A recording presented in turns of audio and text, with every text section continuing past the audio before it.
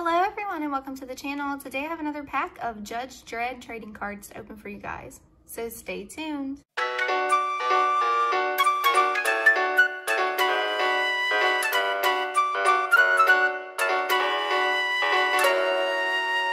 Alright everyone, so I got these for free off of Listia. If you're interested and you don't know by now what Listia is, go ahead and check out my video explaining Listia to you guys in the description below.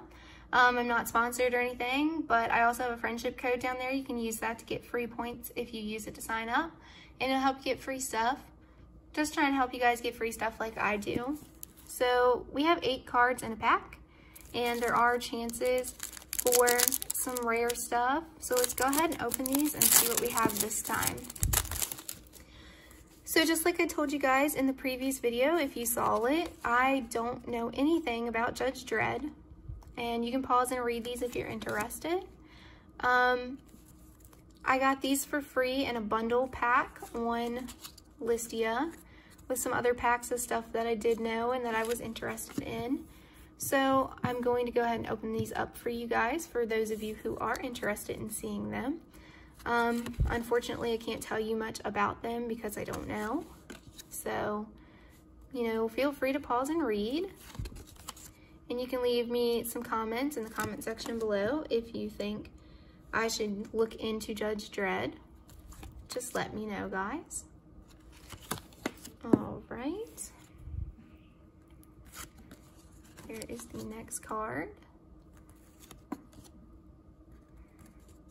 Here is this one.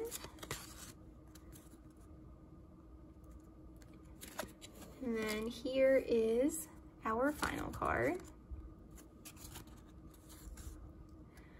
All right, everyone. So thank you all so much for watching. If you can, please leave this video a thumbs up and subscribe to the channel. I would really appreciate it.